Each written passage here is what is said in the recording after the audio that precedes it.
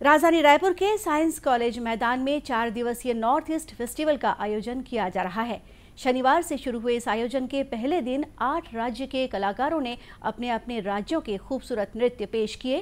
कार्यक्रम का आयोजन दक्षिण मध्य सांस्कृतिक केंद्र नागपुर और संस्कृति एवं पुरातत्व विभाग छत्तीसगढ़ द्वारा किया जा रहा है। इसमें छत्तीसगढ़ सहित मणिपुर, असम, नागालैंड, अरुणाचल प्रदेश, मिजोरम, सिक्किम, महाराष्ट्र, तेलंगाना, आंध्र प्रदेश, मध्य प्रदेश तथा कर्नाटक के लगभग 250 से ज़्यादा कलाकार चार दिनों तक अपने राज्य की कला संस्कृति का प्रदर्शन करेंगे। दक्षिण मध्य क्षेत्र सांस्कृतिक केंद्र नागपुर के उप संचालक गौरी मराठे ने बताया कि इस कार्यक्रम के माध्यम से उत्तर भारत के राज्यों की कला संस्कृति को जानने और समझने का अवसर मिलेगा।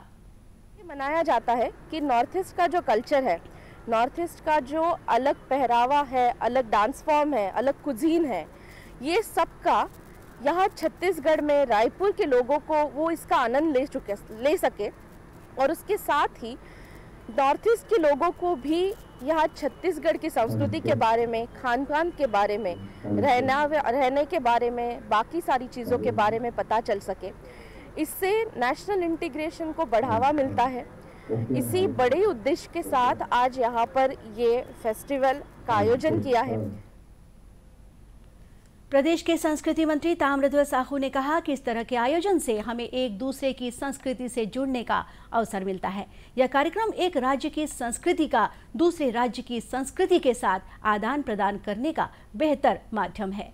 भारतवर्ष की संस्कृति विभाग द्वारा उपनिदेशक आई हैं राठे जी, और यहाँ कार्यक्रम हो रहा है। अलग अलग प्रदेशों की संस्कृति से वाकिफ़ होने का अवसर मिलता है, और ये आयोजन अलग अलग सेंटर में वैसे चलते रहता है, जिसमें अलग अलग प्रांतों के वेशभूषा, उनकी संस्कृति, उनकी कला, उनके भोजन सबको जानने पर रखने का अवसर मिलता है। ये बहुत अच्छा अवसर है, जो पूरे भारतवर्ष को एकता और अखंडता का नारा देते हैं। उसको साबित करता है आपस में भाईचारा और सद्भाव का वातावरण बनाने की दिशा में। मैं आयोजकों को बहुत बहुत बधाई भी देता हूँ। शनिवार को दी गई प्रस्तुति में सभी राज्यों के कलाकार रंग बिरंगे पोशाकों में एक साथ मंच पर आए और नृत्य से दर्शकों का मन मोह लिया।